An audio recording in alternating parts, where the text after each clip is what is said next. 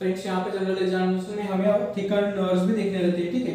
Thicker nerves मतलब क्या होता है फ्रेंड्स? वहाँ पे तो नर्व्स होते हैं, हमारे थिक हो जाते हैं, ठीक है? कुछ वजह से नर्व थिक हो जाते हैं। फ्रेंड्स, यहाँ पे थिकर नर्व्स है सर कॉमनली कौन से? अल्नार नर्व है, ठीक है? कॉमनली यहाँ पे थिकर नर्व में अल्नार नर्व है, ठीक है? उसके साथ साथ जो पेरोनियल नर्व्स भी है, ठीक है? उसके साथ साथ जो पेरो पेरोनियल नर्व भी है, फ्रेंड्स, वहाँ पे थिकन हो जाते हैं। इस वजह से क्या होता है फ्रेंड्स वहाँ पे थिकन नर्व्स की वजह से वहाँ पे स्किन पे स्किन लीजन्स आ जाते हैं, ठीक है? कई बार हाइपोपिगमेंटेड या हाइपरपिगमेंटेड वहाँ पे लीजन्स आ जाते हैं वहाँ पे न्यूराइटिस की वजह से वगैरह। इसलिए जरा सा हमें एग्जामिन करना रहता है। वहाँ पे थिकन नर्व्स नहीं है। जनरली मैंने जैसे बताया कि फ्रेंड्स नर्व पेरोनियल नर्व है, वहाँ पे थिकन रहते हैं, वहाँ पे कई बार कुछ कॉजेस की वजह से।